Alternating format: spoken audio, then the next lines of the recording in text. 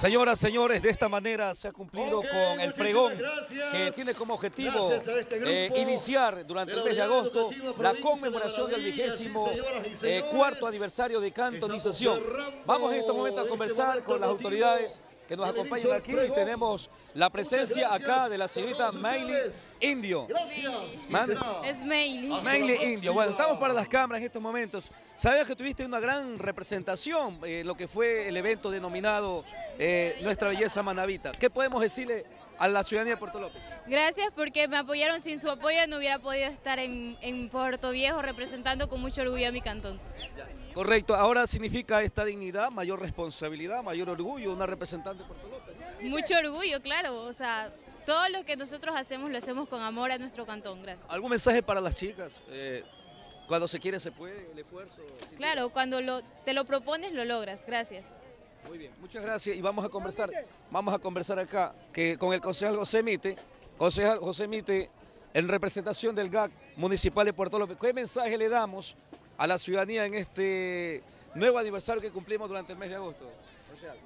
Bueno, mi agradecimiento sincero a todas las instituciones educativas, instituciones que han participado, que año a año vienen presentando esa destreza de cada uno de sus maestros que dan esa preparación para así poder eh, eh, a nuestro cantón dar ese inicio con el pregón de la fiesta de aniversario de nuestro cantón. Muchas gracias José Mite, invitar a todas las actividades que a la ciudadanía, ¿no? Sí, tenemos todo un mes de agosto para poder eh, eh, realizar muchas actividades que de una u otra manera pues siempre están involucradas las unidades educativas. Muchas gracias, concejal José Mite. Y vamos a conversar aquí también con el licenciado Patricio Bailón en representación de una, la unidad educativa Puerto López. Puerto López, licenciado, este, un mensaje a la ciudadanía de Puerto López este aniversario.